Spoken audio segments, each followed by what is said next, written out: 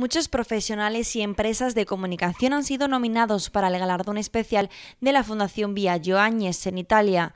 Hasta allí se ha desplazado el editor del Correo de Andalucía, Antonio Morera Vallejo, donde ha recibido el correspondiente premio para una publicación centenaria. El Correo de Andalucía ha sido el único medio de comunicación español que se ha llevado uno de los galardones. Han sido tres días de evento patrocinado por la Presidencia del Consejo de Ministros, la región de Campania, la ciudad de Sorrento, la Federación Nacional de la Prensa Italiana, la Orden Nacional de Periodistas, la Unión Sindical Periodistas RAI y la Unión Católica de la Prensa Italiana. Yo fui llamado para eh, intentar que la prensa decana de Sevilla pues eh, no desapareciera.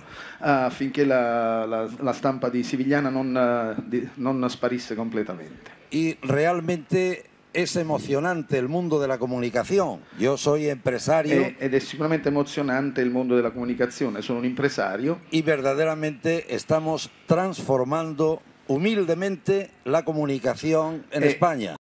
En la gala se encontraban varias personalidades del mundo de la comunicación de Italia. Antonio Morera quiso agradecer el reconocimiento ya que para él supone un orgullo recoger un premio de tal calibre fuera de las fronteras españolas. Tenemos un equipo que verdaderamente son eh, chapó. Abbiamo una squadra veramente all'altezza della situazione. Y con ese equipo y con toda la voluntad del cambio, con questa squadra e con tutta la volontà di cambiare, podemos utilizar todos los medios digitales más Potremo utilizzare eh, tutti i mezzi di, eh, digitali della, dell'avanguardia tecnologica y globalizar la comunicación. E globalizzare la comunicazione. La Fundación Viallo Áñez, inaugurada en Roma el 10 de octubre de 2011, fue creada con el propósito de dar continuidad a los valores derivados de la vida y el pensamiento del periodista Viallo Áñez, traduciéndolos en un compromiso concreto a través de la implementación de una serie de iniciativas culturales para recordar su alto perfil humano y profesional.